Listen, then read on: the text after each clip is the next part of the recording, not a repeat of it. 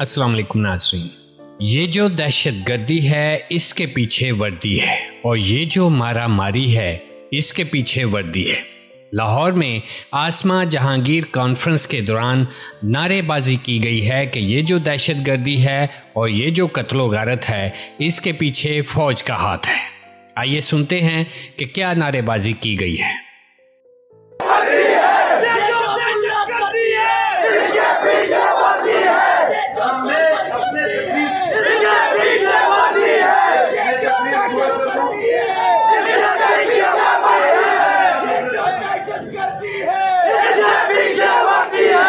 ना सिर्फ़ फौज मुखालफ नारेबाजी की गई है, बल्कि मंजूर पश्तीन ने चीफ ऑफ़ आर्मी स्टाफ का नाम लेकर कहा है कि आर्मी चीफ बादशाह बना हुआ है। उसी का हुक्म चल रहा है, मुल्क में जमहूरियत नहीं है, बल्कि बादशाहत है।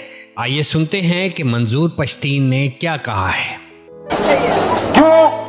क्योंकि यहाँ हुकूमत नहीं। हुकूमत कंट्रोल में जमहूरियत नहीं, बादशाह थे। चीफ ऑफ़ आर्मी स्टाफ बादशाह बना हुआ है, सब कुछ अहकाम वो जारी करते हैं। नाजरीन, मंजूर पश्तीन ने मजीद कहा है कि ये जर्नेल अरबों डॉलर्स लेते हैं और दहशत गर्दी खुद फैलाते हैं। ये अदालतें जर्नेलों के कहने पर फैसले देती हैं। ये आसम बाजवा की पापा जॉन्स मुफ़्त में नहीं मिली। हम पख्तूनों का खून बहाकर डॉलर लिए हैं। सवाल ये है कि क्या मंजूर पश्तीन के खिलाफ आज़म स्वाति जैसा एक्शन होगा? क्या अब की बार भी स्टैब्लिशमेंट की तरफ़ से बयान जारी किया जाएगा कि ये बयान अफसोसनाक है?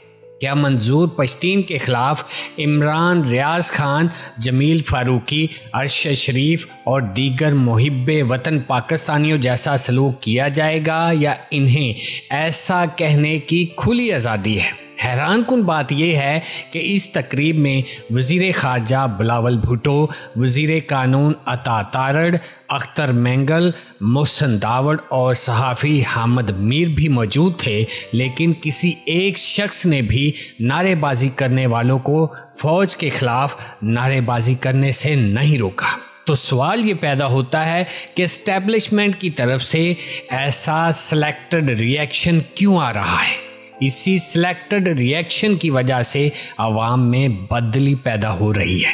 वो लोग जो मुहिब वतन हैं, उनको नंगा करके तशद किया जाता है और उनके खिलाफ एफ़ आई आर्स का इंदराज करवाया जाता है। लेकिन मंजूर पश्तीन जैसे मुल्क दुश्मन अनासर, जिनके बारे में माजी में इस्टेब्लिशमेंट की तरफ़ से प्रेस कॉन्फ्रेंस में सबूत दिखाए गए कि इनको भारत से फंडिंग हो रही है। ये लोग अब आँखों का तारा क्यों बन गए हैं?